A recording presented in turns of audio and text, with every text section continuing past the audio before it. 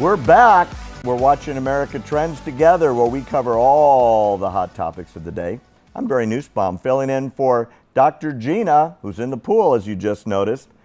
Our poll question today Will the Democrats leave their convention unified behind Hillary? I'm voting no. Remember to vote in that poll. We want to hear what you have to say. So, live from the DNC convention in Philadelphia, political reporter Mona Salama. Mona, how are you, girl? Going good. You're undercover with those glasses. You're looking good. No, I'm just haven't slept and like I like to change up my style. Ask Gina. Got it. I wanted to fit in with the protester, even though I'm actually dressed up. So I was nerdy chic today. Got it. Nerdy chic. Okay, nerdy chic. You're gonna have to give us some big opinions. Let's start with the poll. Is the party unifying after Bernie surrendered? No.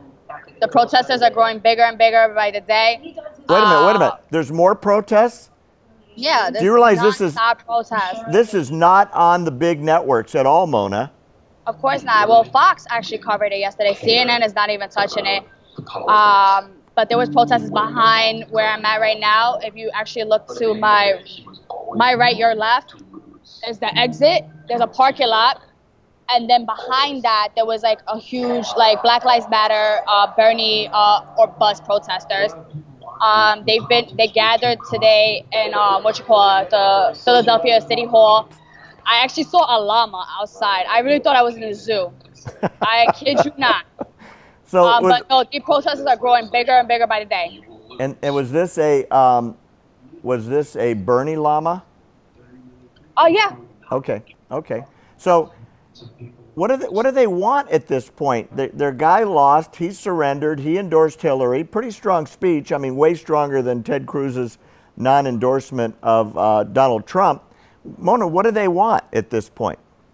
Uh, to keep the political revolution alive. Uh, Bernie's biggest thing, even though he, I say he lightly endorsed her. He the only reason why he's endorsed her because he doesn't want Donald Trump. But every time he'll talk about it, he'll talk about it for two minutes. But then the rest of his speech will be all about you know electing from the ballot down, local level to Senate level, um, from each state to like um, Senate and each uh, the United States Senate to uh, elect progressive leaders, and that's his, his plan. So, do, do the protesters, Mona, out in the street believe they're going to influence uh, Hillary's direction of the party and her platform at this point? No, they already know that she's full of crap. Um, what you call it? They're not holding her accountable. A lot of them are trying to get Bernie to uh, denounce his um, endorsement. That's not gonna happen. But a lot of them are now supporting uh, what you call what's her name? Jill. Uh, what's her name? Jill Stein. Okay, and you know that that could be that could backfire on the Democrats. Uh, that becomes like a, a Ross Perot moment where certain Democrats are bolting, and it if it pulls five percent, Trump wins. Yeah. Well, if she can get into right now, they're trying to get her. Um, they're actually behind her and they're like in love with her. She's been joining the protest, and uh, their biggest goal right now, from now until after Labor Day, is to make sure she reaches the 15% threshold, so her face can be on the debate, and it could either be a three-way debate or a four-way debate come November. Um, I mean, end of September and they want to make sure that she gets her voice out there because they think she's like the replica of Bernie. So, in other words, Green Party, Libertarian Party, Republican Party, Democratic Party. Mm-hmm. I wonder what the major networks are going to say about that. I bet you it doesn't happen just because they don't want to see the left wing fracture. That and like I bet you they're gonna if I, there's only gonna be three debates, they're gonna find a way to change the debate rules, and they're gonna say, yeah, we thought about that and and we decided that like it has to be a two-party system. They're gonna find a way to make it Trump versus Hillary because that's gonna be the show to watch. And then now with Kaine going after Trump just moments ago, um, he's such a like the like high school boy that uh, nobody wanted to be friends with. And then Pence is actually the guy you actually wanted to approach. So we'll see how Pence if he's gonna if Trump is rubbing off on him the next three months. I mean the next two months. Got it. So, is there still fallout coming in Philadelphia from the leaks that came out of the demise of uh, Debbie Wasserman Schultz in regards to the way the Democratic Party fixed it for Hillary to push Bernie out?